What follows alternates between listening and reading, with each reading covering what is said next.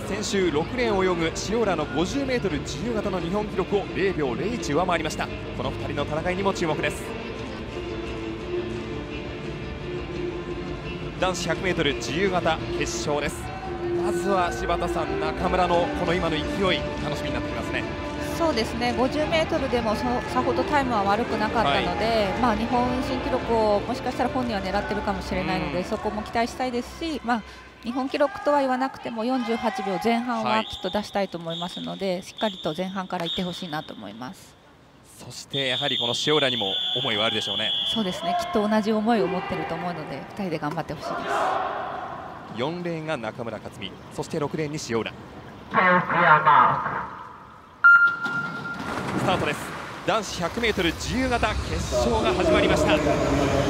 はレースの序盤誰が抜け出すか少し塩村は遅れているか抜け出しているのはやはり中村かただほぼ横一線塩浦も上がってきています黄色いレーンの奥側が4レーン中村克美そしてその2つ手前白いスイミングキャップが6レーンの塩浦まずはこの前半のタイムどれぐらいか。23秒5 23秒30というタイム。中村のタイムはどうでしょう？そうですね。悪くないのでぜひ後半ちょっと粘ってほしいと思います。48秒の前半を目指したいと話していた中村が塩浦から体半分ほどのリードを奪っています塩浦はわずかに遅れています黒のスイミングキャップ中村克美勢いそのまましっかりと差をつけ47秒87 0秒12上回り47秒87という新記録を打ち立てました中村克実先週の勢いそこの 100m でも素晴らしい日本新記録ガッツポーズを見せました中村克実48秒前半どころではないタイムが出ました。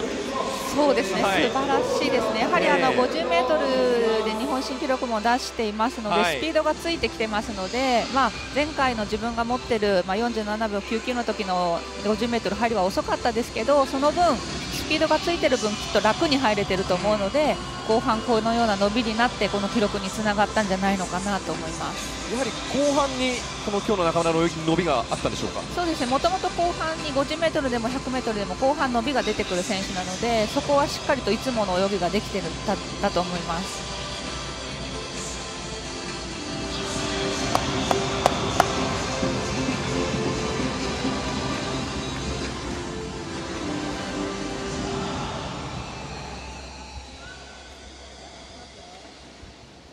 男子 100m 自由形日本記録を更新しました中村克美選手です。おめでとうございます。ありがとうございます。自身2度目の47秒台。今レース振り返ってどんなお気持ちですか？そうですねえっと、えー、こんなに早く速いタイムだとは思わなかったのであのちょっとゴーグル曇ってたんでタッチした時87っていうのが見えたんで8秒8かなと思ってたんですけどよく見たら7だったんで、はい、あのびっくりしましたし、えー、非常にいいレースだったと思います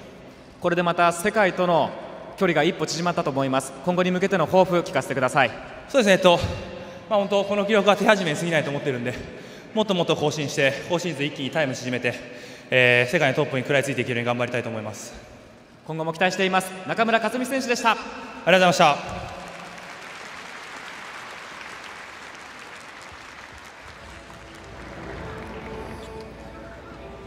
男子 100m 自由形決勝の結果です